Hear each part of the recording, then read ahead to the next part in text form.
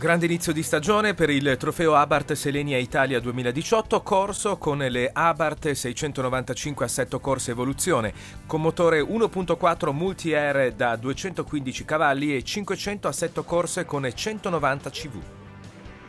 Il primo round si è tenuto sull'asfalto del mitico circuito Dino ed Enzo Ferrari di Imola, dove le piccole Abarth riescono sempre ad emozionare e a dimostrare di che pasta sono fatte.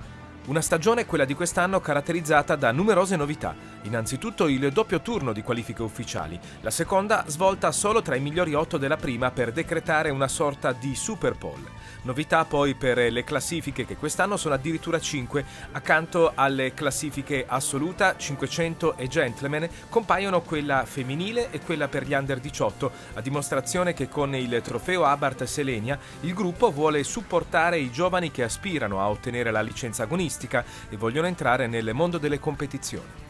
Fra i piloti invece gradite riconferme, quella del campione in carica Cosimo Barberini, del suo eterno rivale il finlandese Juuso Pajuranta, lo svedese Robin Appelquist e il diciottenne bresciano Andrea Mabellini, protagonista di un'ottima stagione d'esordio nel 2017.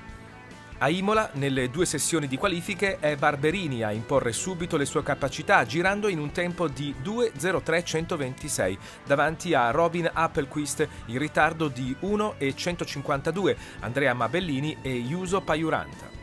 Anche in gara 1, nonostante una partenza non tra le più brillanti e alcuni problemi di surriscaldamento verso gli ultimi giri, non ce n'è per nessuno. Barberini mantiene la testa della corsa per tutti i 25 minuti di gara previsti, aggiudicandosi la vittoria. Accesissima invece la battaglia per i gradini più bassi del podio, con protagonisti un velocissimo Mabellini, Appelquist e un Paiuranta un po' offuscato.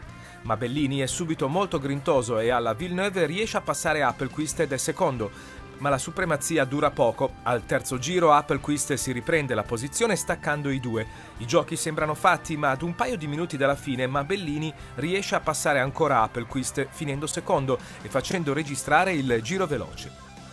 Allo svedese va ancora peggio, alla rivazza quasi sotto alla bandiera scacchi, sbaglia e finisce nella ghiaia, lasciando la terza piazza ad un incredulo Paiuranta.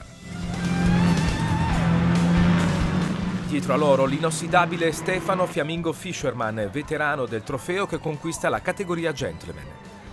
Per la classifica Under 18 vittoria del sedicenne Filippo Lazzaroni, primo anche nella categoria 500 assetto corse e per quella femminile di Aurora Corino.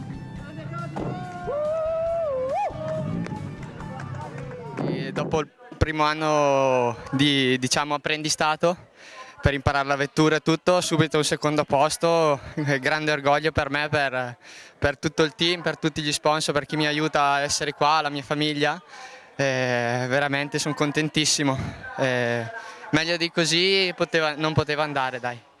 Mi sono trovata molto bene e man mano che uso la macchina sto imparando a gestirla, sto imparando a comunque prendere confidenza con la macchina, la pista è molto bella, mi piace e adesso è finita gara 1, vedremo cosa succede in gara 2, sono contentissima di essere qui, per me è già un traguardo questo. Gara 2 inizia sotto un cielo che minaccia acquazzoni come di consueto a griglie invertite ma dietro la safety car a causa dell'asfalto viscido. Quando questa lascia la pista, a prendere la testa della gara è Robin Appelquist, che dura un paio di giri prima di essere ripreso da Barberini. Come in gara 1, a questo punto diventa di nuovo spietata la battaglia per il secondo posto tra Appelquist, Mabellini e Paiuranta, che sembra aver ritrovato lo smalto perduto. Alla fine, infatti, è secondo davanti a Mabellini che costringe lo svedese fuori dal podio. A conquistare la classifica gentleman stavolta è Gioga, mentre è sempre il giovane Lazzaroni in cima alle classifiche under 18 e 500. Buon quinto il giornalista Alberto Sabatini al suo esordio sulla 695.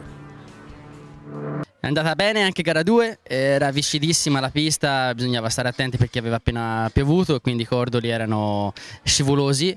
E dopo un inizio di gara dove c'era App e Quist che dettava un po' il ritmo siamo riusciti a passarlo e ad allungare. È andata bene anche gara 2, per fortuna speriamo anche il resto del, del campionato. Prossimo round al circuito francese Paul Ricard di Le Castellet il 12 e 13 maggio.